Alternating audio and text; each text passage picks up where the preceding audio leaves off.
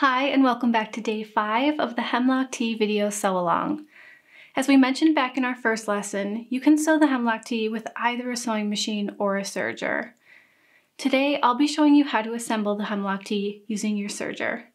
If you're working with a sewing machine, you'll want to check out our previous lesson. Some of you may be wondering, what is a serger? A serger is a machine with the ability to cut, sew, and finish your fabric all at the same time. It has multiple needles and threads, as well as loopers instead of bobbins that allow the thread to wrap around the edge of the fabric. Traditionally, sergers come in 3 thread and 4 thread. The Bernina L450 I'm using here is a 4 thread, but sergers are available with more threads in combination machines. Now I want to address something that we get asked a lot. What is the difference between a serger and an overlocker? Um, the answer is nothing. They're two names for the exact same machine. Depending on where you live, you'll likely call it one or the other, but that's the only difference. Unlike a sewing machine, sergers can sew and finish the edge of your fabric at the same time. While knits generally don't unravel the way wovens do, this allows you a nice, neat seam allowance. If you look at your ready-to-wear knit garments, they're almost certainly sewn with a serger. Since we're using a machine with a powerful knife, you're going to want to see whatever pin you choose clearly as it approaches the knife. You really do not want to cut a pin, and any good serger will chop right through that pin. and it can dull your blade or throw the entire machine timing off.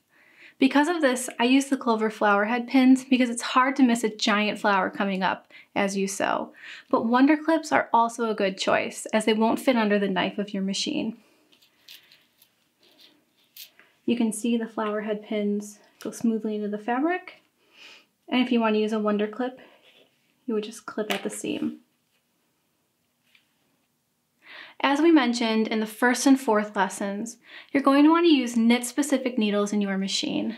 There are a few types of needles appropriate for knits, which I'll go through now, but keep in mind that sometimes sergers require a different type of needle than a sewing machine needle. My Bernina L450 serger uses sewing machine needles, but you'll need to check the manual to see what your specific machine requires. Jersey or ballpoint needles go by both names depending on what brand you're using. These needles have a slightly more rounded tip than universal needles, which in theory should reduce damage to your knit fabric while you sew. Ballpoint needles are great for more loosely knit fabrics without stretch fibers like Lycra. Stretch needles also have a rounded tip, but in addition to that, they have a deeper scarf, which allows the thread to tuck more tightly into the needle when passing through the fabric. This makes them a great choice for more tightly knit fabrics and fabrics with a lot of lycra. If you're getting skip stitches with your jersey ballpoint needle, give a stretch needle a try. Make sure you experiment with needles on your fabrics before you start sewing. Although this description of when to use what needle seems fairly straightforward, often things don't behave in ways you would expect.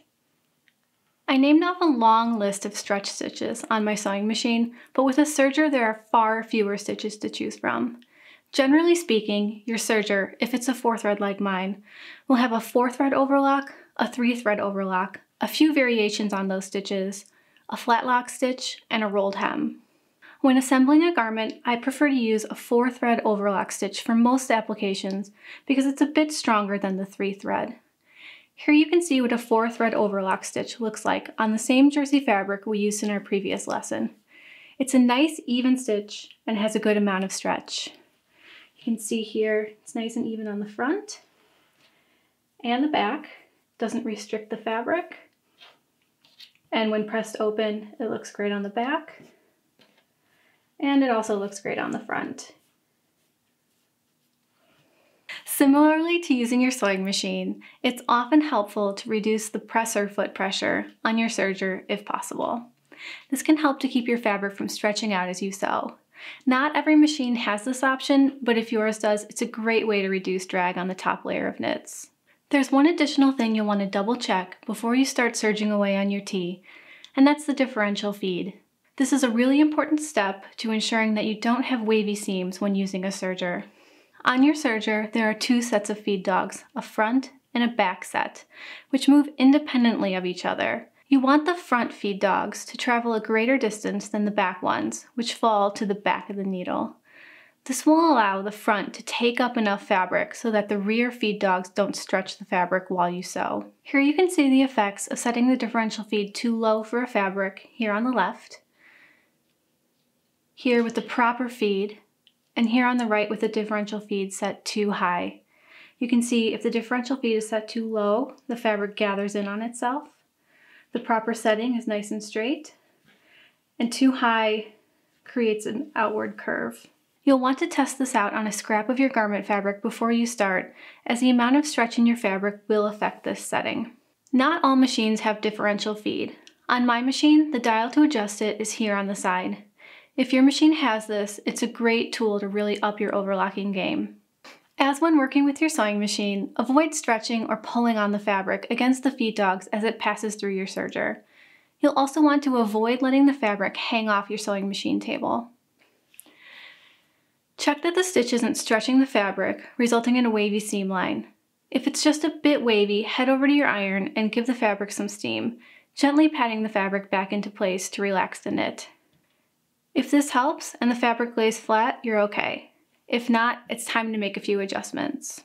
Now that we've got the basics of working with knits on your serger out of the way, it's time to turn this pile of pieces into a hemlock tee. Okay, to begin, we're going to start with our front and our back. Lay your back with the face up and then lay the front down on top of it, right sides together. We're going to align the shoulder seams.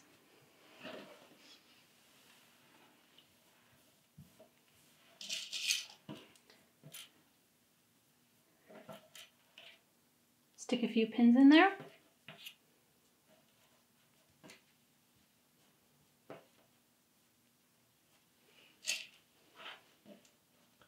And then we're going to head over to the serger to sew our shoulder seams.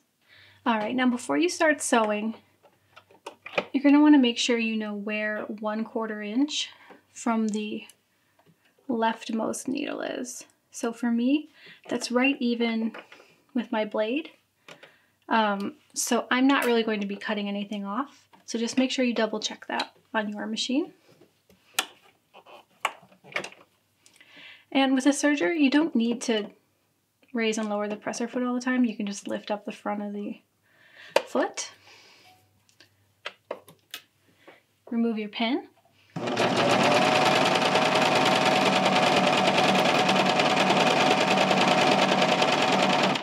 And then much like using a sewing machine, I just chain off the neckline.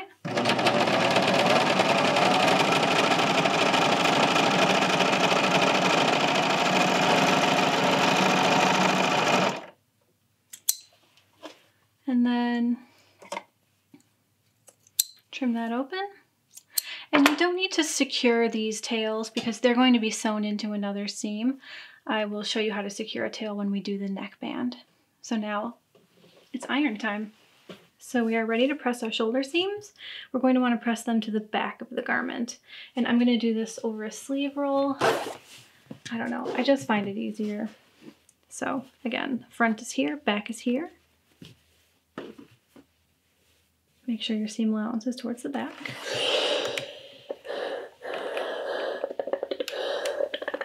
And give that a press. And I'm doing that thing again where I use my hand as a press cloth, but you should make a press cloth. One of these days I will, I swear. Now the other shoulder, again, make sure we have the front. Seam is pressed to the back.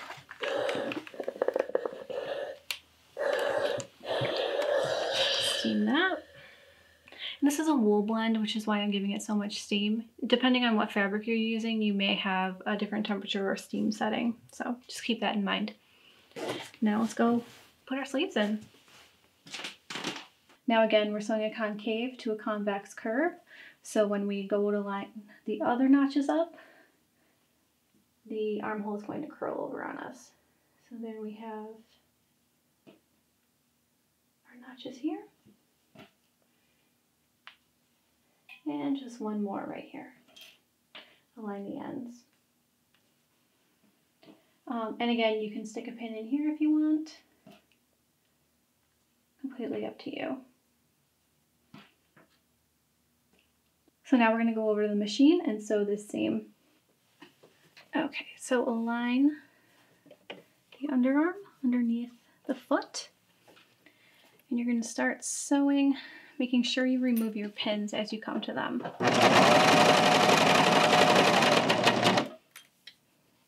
And you can see I'm double checking that everything's aligned as I go around the curve. You're also going to want to make sure you have no lumps here. So if you flip the sleeve up, you want to make sure the underlying fabric is smooth. So keep an eye on that as you go around since we're sewing two different types of curves together.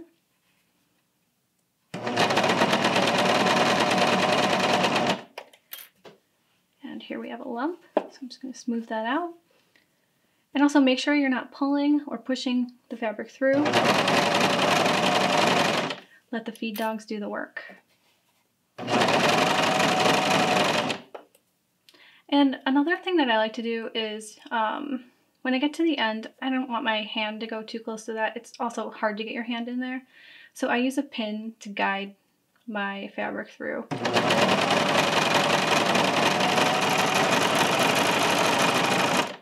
And again, these are being sewn into the side seam, so we do not need to secure these thread ends. Now let's head over to the iron. Okay, so since we have these two opposing curves, we're gonna wanna press it over a ham. So Put your ham underneath the armhole. Your seam allowance is going to go towards the sleeve, so make sure that's facing the right direction. And give it a press.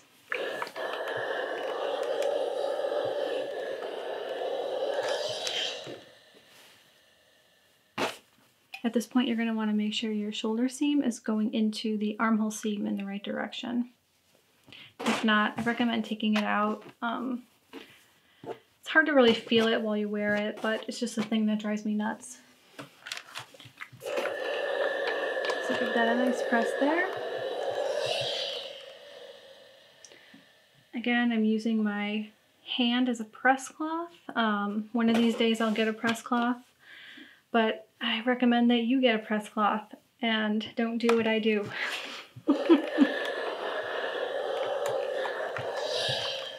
Also, I'm using a wool fabric, uh, which is why I'm using so much steam.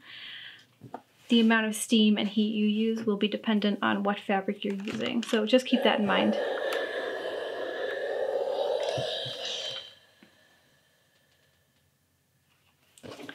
All right, so our sleeve is now in.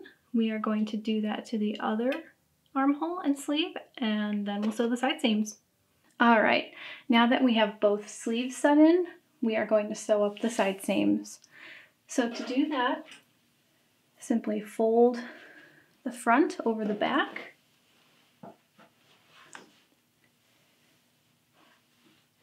And align the side and underarm seam.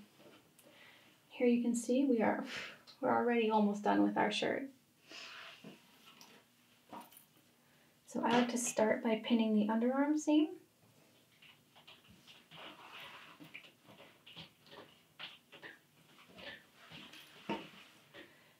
And I usually put a pin at both ends. And then I just kind of half the center of the sleeve. And then for the body, I do the same thing. Align the bottom.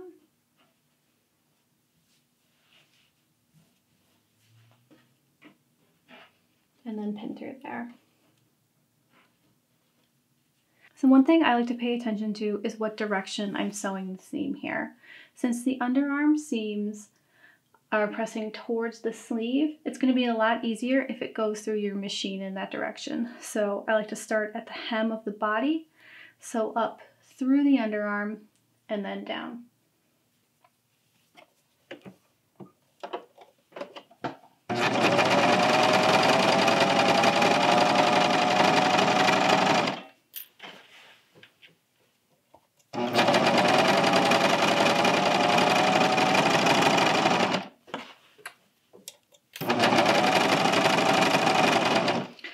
Here's the point where you need to watch where the two seams are.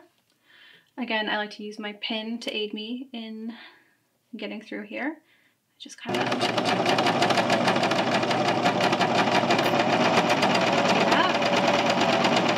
and went right through.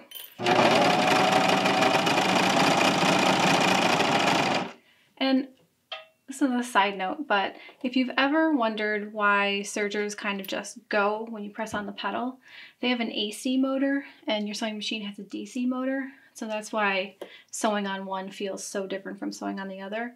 But eventually your foot will get used to the motor, um, just like when you were learning to drive a car, and it won't be so scary.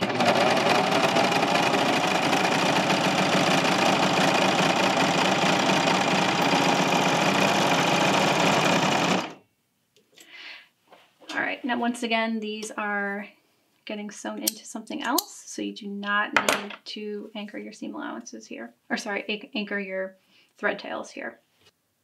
All right, now it's time to press our underarm seam. So start by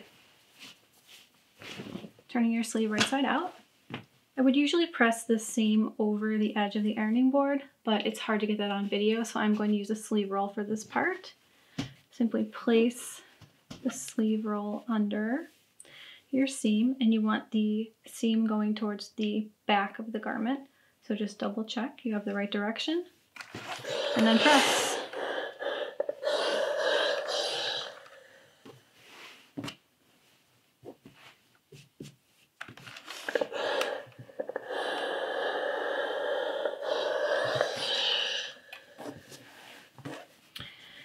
Now, even if I was pressing over the edge of the ironing board, here's where you need to get your sleeve roll out so that you can get inside the sleeve itself.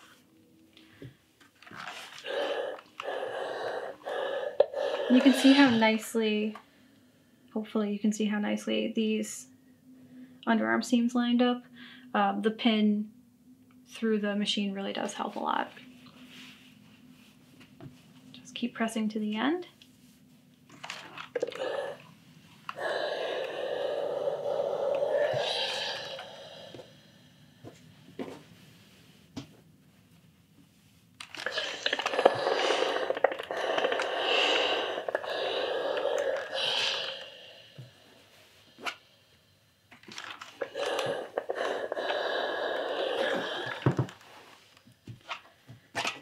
And that side is done. Now repeat those steps for the other side. All right, now that we have our body fully assembled, it's time to work on our necklines. So just get that out of the way for a moment and grab your neckband piece. So for the neckband, we're going to fold it right sides together so that the short ends meet. Then we are going to pin that and head over to the machine to sew this seam. Place the neckband under the machine.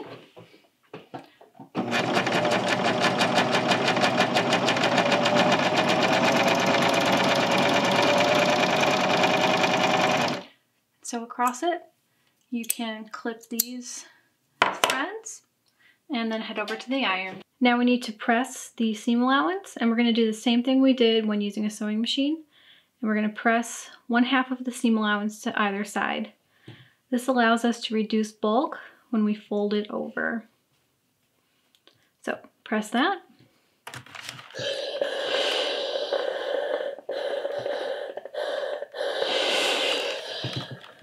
And then the next step is to just fold the two raw edges to meet and press. And you're going to work your way all the way around the neckband. All right, and here we are back at the beginning. Now we're to take this over to the table and quarter it. When inserting a neckband, I like to quarter the neckband. That way I find it easier to insert. So to do this, find your back side seam and fold the neckband in half along that. This will be your center front. So stick a pin in there. Then bring the pin to meet the center back seam. Place a pin in the quarter. And same thing for the other side. So now our neckband is quartered. So we need something to align that to because these quarters will not align with the shoulder seams. That's not a perfect quarter around the neckline. So now we need to quarter our neckline.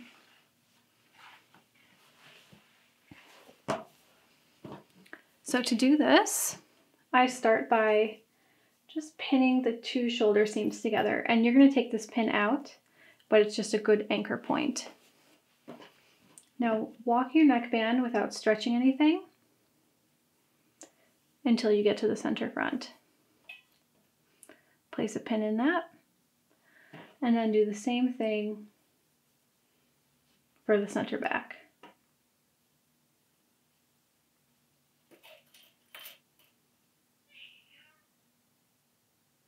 Now unpin the shoulder seams and we're going to find the side quarters.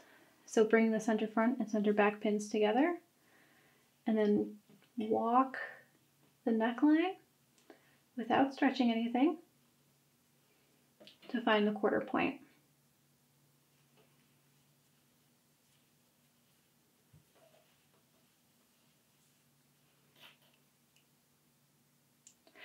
Now we need to align the neckband to the neckline. And I like to start with the center back. You can start with wherever you want. This is just a personal thing. So align the seam with the center back pin. Pin that.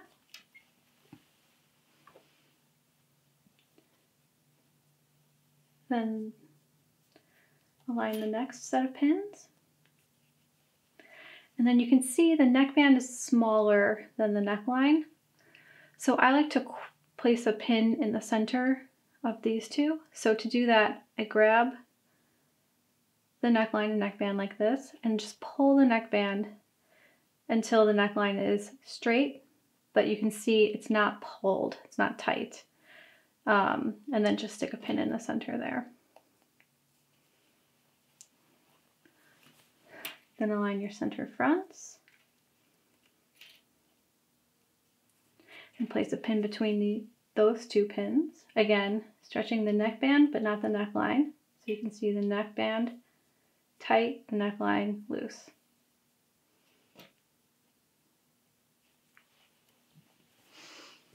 And do the same thing for the remaining sections.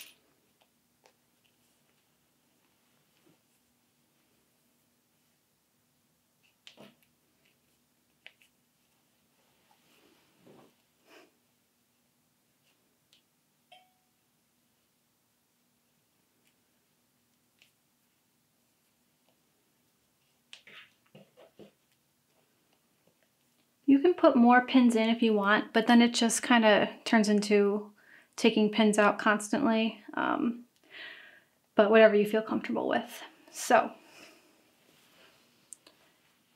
our neckband is now pinned in place. We're going to head over to the machine and sew around this. All right, so now we need to sew the neckband. So I like to start just right behind the center back. I pull the neckband so that it's just the same length as the neckline. And with a serger, you're going to kind of have to scoop over to the seam line. Um, it's not like a sewing machine where you can really lift the needle and put it down in a specific place. So,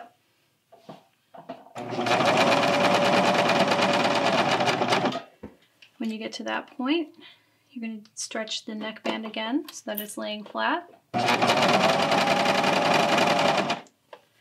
And just keep repeating that as you go around. And here we're at the shoulder seam, so make sure that goes under the machine in the right direction.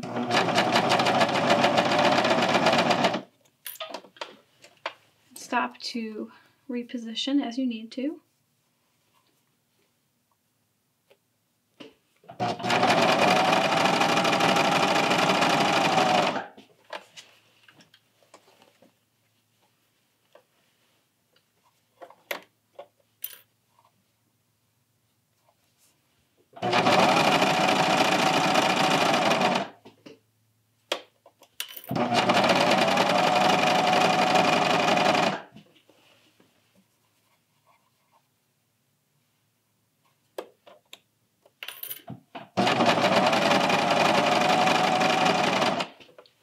Neckline is never stretched during this pro process, only the neckband. So here we have the seam allowance again for the shoulder. So just make sure that's facing the right way.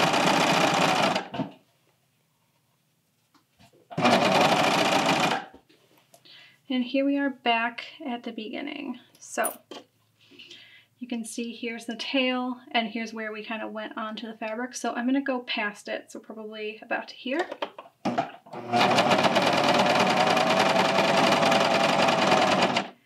Then I need to quickly get the machine, the fabric out from under the machine. So I just scoot it to the side.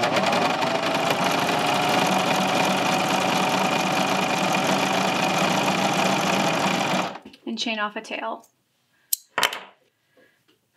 So this fabric is not, sorry, this, so this thread chain does need to be tucked in because this is not getting sewn into anything else. We want to anchor this thread. So I take a needle, um, it's sort of blunt, has a huge eye, and I just thread the serger chain through it. I go to the wrong side. You can do the right side, it doesn't matter. I just like to do the wrong side because it's the wrong side. And you're just gonna go under a few stitches in one direction.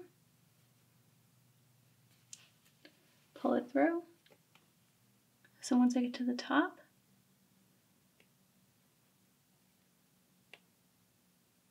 I just weave back through the other direction.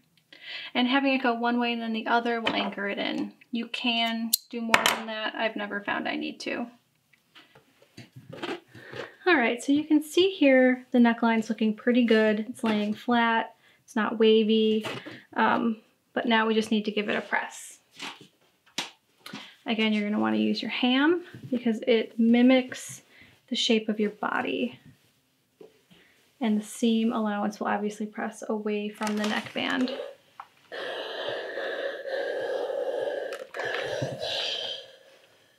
Get yourself a press cloth.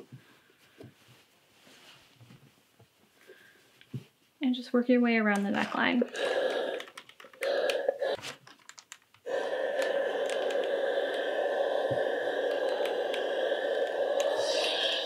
Make sure your shoulder seams are still pressed to the right direction. You didn't catch anything and cause the seam allowance to go in an opposite direction of your original press.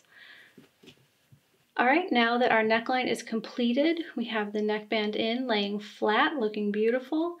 Um, you have the option of running a line of stitching around the neckline like we did in a previous episode.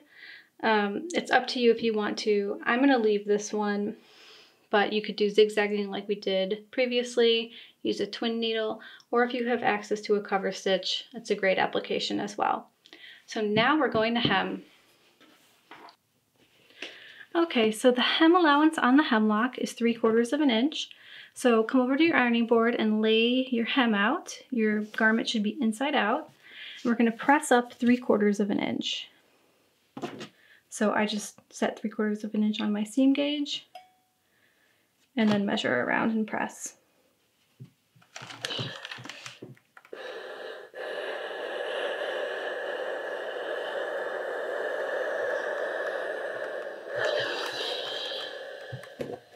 Work your way around the hem.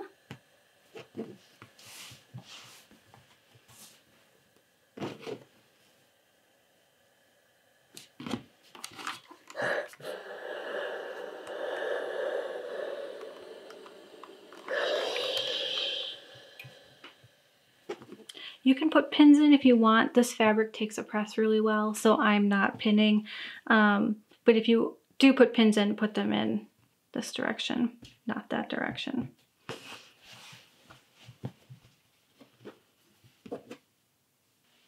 Okay, so now that our hem is pressed up, we need to stitch around it. We can't do that with a serger because of the way it functions. The loopers go around the fabric and therefore it would be impossible to hem. You would have thread coming around here, even if you lowered the knife. So at this point, you're going to use either a stretch stitch, a zigzag, a twin needle, or a cover stitch machine to go around here. I'm going to use a cover stitch since I already used a zigzag on the previous top. Um, so let's head over and start cover stitching. Alright, so this is my cover stitch machine. It's a Bernina L220. It's sadly no longer in production. So when you cover stitch, you need to have the right side of the fabric facing up if you want the stitching on the top and a looper on the bottom. So you can feel where your um, hem is. You want that to hit about where this is. Um, this is a compensating, compensating plate so you can see the two sides move independently of each other.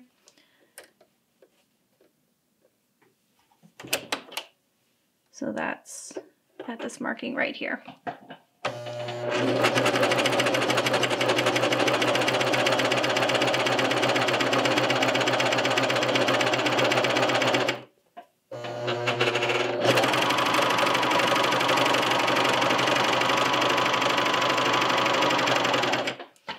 Work your way all the way around. And when you get back to where you started, I like to clip these threads. Cover stitch will only unravel from one side, and that's the side you stop sewing with, so you can cut these close. And you're gonna wanna go back over these a tiny bit.